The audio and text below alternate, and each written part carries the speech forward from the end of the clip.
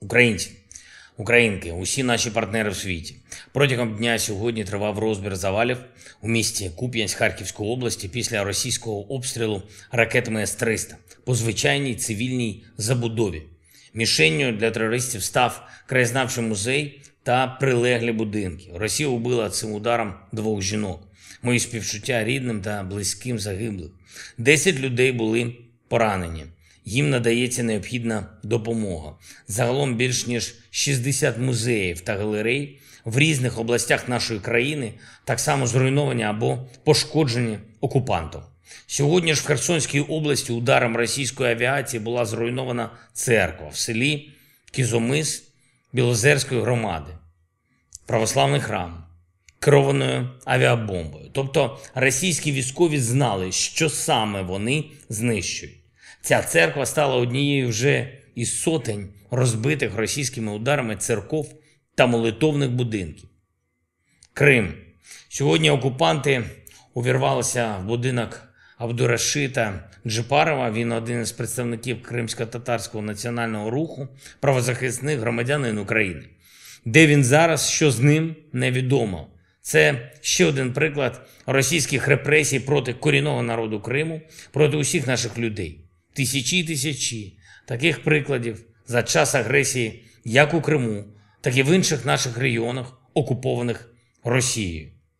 Ніхто і ніде не може почуватися безпечно, поки агресор не розбитий. Це те, що кожен день в Україні доводить усе те, що російські війська та спецслужби окупанта роблять на нашій землі проти наших людей. І це те, що вони мріють принести на землі інших народів. Увесь світ це знає.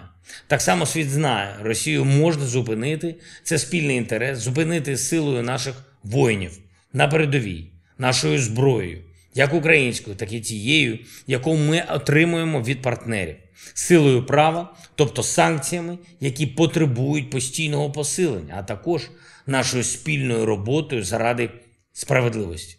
Кожен прояв російського терору. Кожен день агресії це додаткові аргументи, що все це має завершитись у трибуналі у новому Нюрнберзі щодо рашизму, щодо тих, хто знищує життя і людей, у кого ракети проти музеїв, а керовані авіабомби проти церков. Росія має програти іншої мети у світу бути не може, бо все інше це програш життя, це програш права. Це програш власне світу. Сьогодні наша міжнародна санкційна група, група експертів, яку очолюють Андрій Єрмак і Майкл Макфол, представила документ про посилення санкцій проти Росії. Перший такий санкційний план був виконаний більш ніж на 70%. Тож зараз представлено, за якими напрямками можна ще посилити санкційний тиск і як дати світу більше стабільності через повне виключення з глобальних відносин усіх деструктивних російських суб'єктів, усіх тих, хто працює на війну.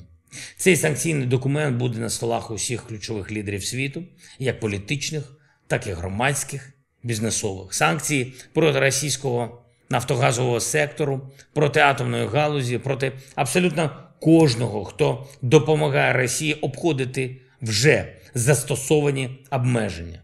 Це необхідний самозахист міжнародного правопорядку. Сьогодні ж я провів чергове засідання ставки. Командувачі, главком, розвідка, Міністерство оборони, доповіді щодо бойових дій на фронті зараз, наших можливостей активно рухатись, комплектації нових підрозділів.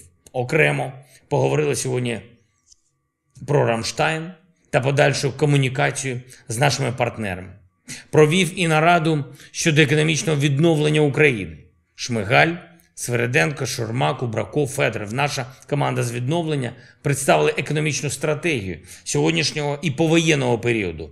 Вже зрозуміло, що результатом нашої перемоги стане можливість України бути реальним постачальником безпеки для усіх наших партнерів, для усіх в світі, хто цінує міжнародний порядок, заснований на правилах нові стандарти безпеки, які ми втілимо в нашому житті, в нашій інфраструктурі, в енергетиці, логістиці, у зв'язку, в соціальній та освітній сферах, у нашому виробництві. Все це можна буде масштабувати в інших частинах світу. Так само українські системи захисту, наша зброя, наш досвід, досвід наших людей набутий в протистоянні російському терору. Все це працюватиме на глобальний мир, на те, щоб ніхто в світі ніколи не повторив російських злочинів.